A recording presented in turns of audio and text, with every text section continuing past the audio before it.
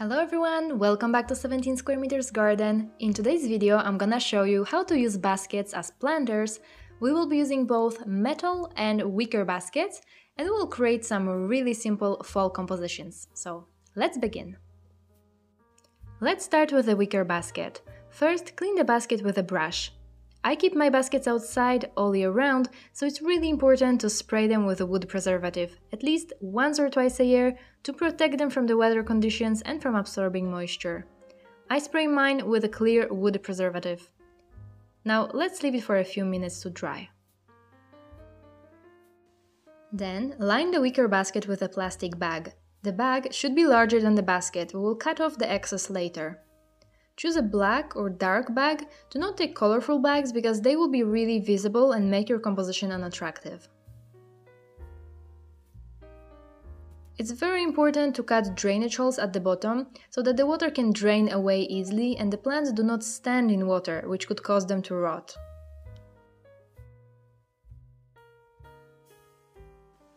Next, I put some potting mix into the bottom of the basket. I use a multi-purpose potting mix, which is the best choice for seasonal planters, hanging baskets and such. The plants I'm gonna be using for this composition are Anemone Fantasy Red Riding Hood. It is a winter hardy perennial. Uh, it blooms in the fall, so in the spring you can repot it into its separate pot and enjoy it for many years on your balcony. Calluna vulgaris Fluffy. That's a really beautiful heather. Again, they are winter hardy, so if you want, you can keep them and then repot them in the spring into ericaceous potting mix, which is an acidic potting mix. This sedum came without a plant tag, but it's a sedum cauticola. I'm not 100% sure what's the exact variety, perhaps lidakense. Sedums are really low maintenance and actually grow really well on a north or northeast facing balcony. Ivy-leaved cyclamen, cyclamen hederifolium, these are called Amaze Me White.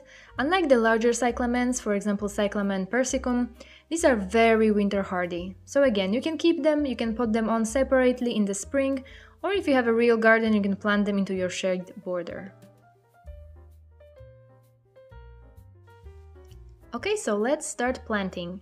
I placed larger plants at the back, but you could also place them in the center.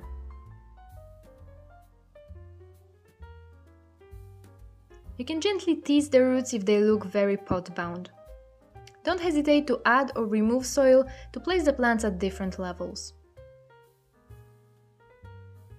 You don't have to plant the flowers straight, plant them at an angle to get the look that you want.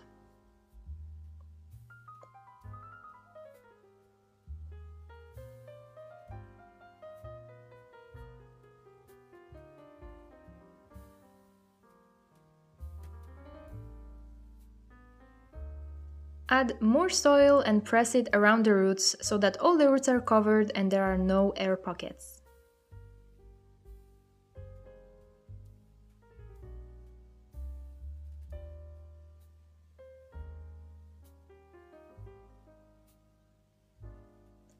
Once you're done, cut off excess plastic with a pair of scissors.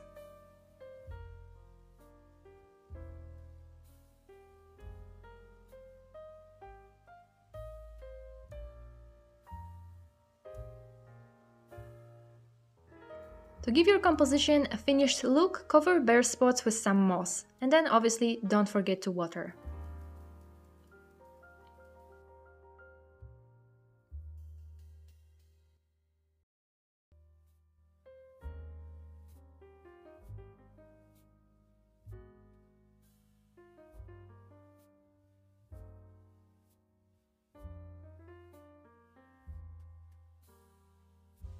Moving on, we will now plant a composition in a metal basket. In the case of metal baskets, you must of course line them with something before planting. You can use straw, a piece of burlap bag, or preserved sheet moss. I'm using moss because that's what I like the most. Make sure that all the interior of the basket is covered.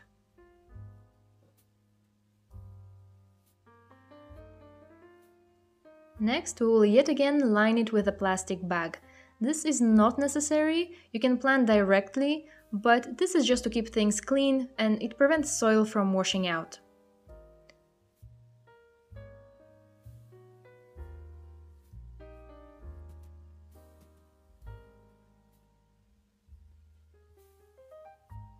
So yet again, let's cut some drainage holes. The plants I will be using for this composition are white chrysanthemums, Calluna vulgaris, a classic heather, New York Aster Symphyotrichum novi belgii, it is a very winter hardy plant as well. Muehlenbeckia axillaris that I already had on my balcony, it's a good idea to be creative and to use plants that you already have. Before we start planting, just wanted to say that if you are a beginner gardener or if you feel overwhelmed by making compositions or you don't know how to pick plants, you can still create something really simple. For example, you could totally just plant heathers and I think that will still look really good. Okay, the same steps as before, putting some soil at the bottom and planting the flowers. In summer, a composition like this wouldn't work, because plants need more space to grow and to spread. In fall and winter, plants are not actively growing, so it's okay to plant them very close to one another. And then in the spring you can repot them and give them some more room to grow.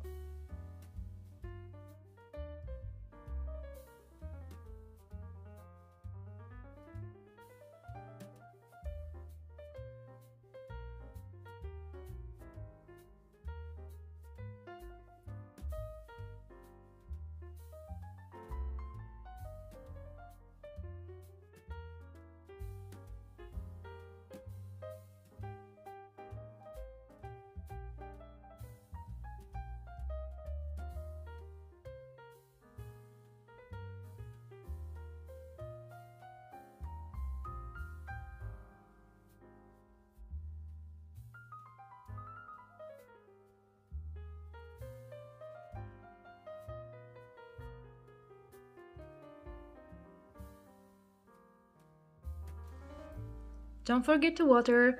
At this time of year you don't need to use a lot of water and you don't need to water too often because the temperatures are cooler so the water doesn't evaporate or is not absorbed as quickly as in summer. These compositions can be planted anywhere, whether you have a sunny balcony or a shady patio, because in all cases the light levels are reduced at this time of year and plants are not actively growing. I hope that you enjoyed today's video and found it inspiring. Thank you so much for watching and I'll see you again next week. Bye!